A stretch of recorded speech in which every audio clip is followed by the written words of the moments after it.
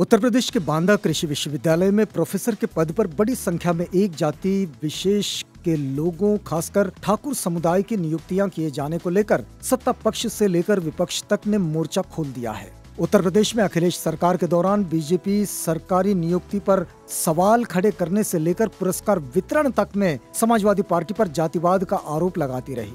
BJP नेता से लेकर कार्यकर्ता सड़क से लेकर विधानसभा तक समाजवादी पार्टी को यादववाद के मुद्दे पर घेरते रहे। लेकिन अब उसी जातिवाद के आरोप में योगी आदित्यनाथ के नेतृत्व वाली बीजेपी सरकार पर भी सवाल खड़े किए जा रहे हैं। बांदा कृषि विश्वविद्यालय में प्रोफेसर के पद पर बड़ी संख्या में एक जाति विशेष के लोगों की नियुक्तियाँ किए जाने को लेकर बीजेपी विधायक ने ही इसके खिलाफ मोर्चा खोल दिया है, जिसके बाद मंत्री ने जाँच के आदेश दिए हैं। बता दें कि उत्तर प्रदेश के बांदा कृषि एवं प्रौद्योगिकी विश्वविद्यालय ने 20 प्रवक्ताओं की भर्तियाँ की गई है, जिसका रिज़ल्ट 1 जून को घोषित किया गया है। इसमें जिनमें 18 सामान्य वर्ग और दो ईडब्ल्यूएस कोटे की थी। विश्वविद्यालय प्रशासन ने 15 पदों पर भर्तियाँ की है जिनमें से 11 पदों पर सामान्य वर्ग में एक ही जाति विशेष, यानी कि ठाकुर समुदाय के लोगों का चयन किया गया है। इसके अलावा बाकी चार पदों में से एक ओबीसी एक अनुसूचित जाति, एक भूमिहार और एक मराठी समुदाय से शामिल है। नियुक्त हुए कर्मचारी प्रोफेसर, एसोसिएट प्रोफेसर और असिस्टेंट प्रोफेसर है। बांदा कृषि विश्वविद्यालय में सामान्य वर्ग से चयनित हुए पंद्रह प्रवक्ताओं में ग्यारह ठाकुर समुदाय के भर्ती किए जाने को लेकर विवाद छिड़ गया है। सत्ता पक्ष के ओबीसी विधायक से लेकर विपक्ष तक ने मोर्चा खोल दिया है।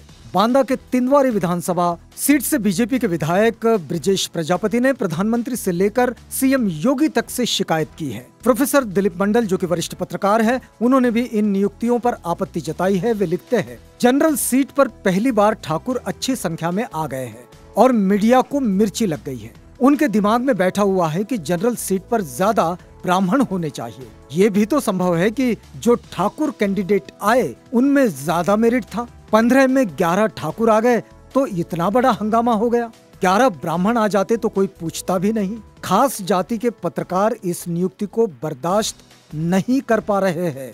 ये नियुक्ति कैंसिल होकर रहेगी। शर्त लगा लीजिए।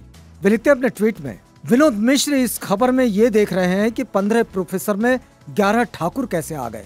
पंद्रह में ग्यारह ब्राह्मण आ जाते तो ये खबर नहीं लिखी जाती। इस नियुक्ति में असली खबर ये है कि 20 पोस्ट में 18 जनरल और दो ईडब्ल्यूएस है। इस नियुक्ति में S C S T OBC को आरक्षण दिया ही नहीं गया। हैशटैग आरक्षण विरोधी योगी सरकार। बहुजनों की बुलंद आवाज़ आवाज़ इंडिया टीवी। देखिए अपने मोबाइल पर, कहीं भी, कभी भी।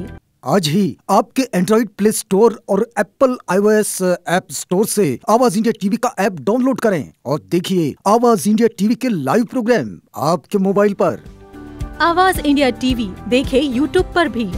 आप हमारे YouTube page youtube.com slash Awaaz India TV पर जाकर हमारे पेज को सब्सक्राइब करें। साथ ही घंटी की बटन दबाएँ। ताकि हमारे नए वीडियोस आप तक आसानी से पहुँच जाएँ। देखते रहे आवाज़ इंडिया टीवी बहुजनों की बुलंद आवाज़।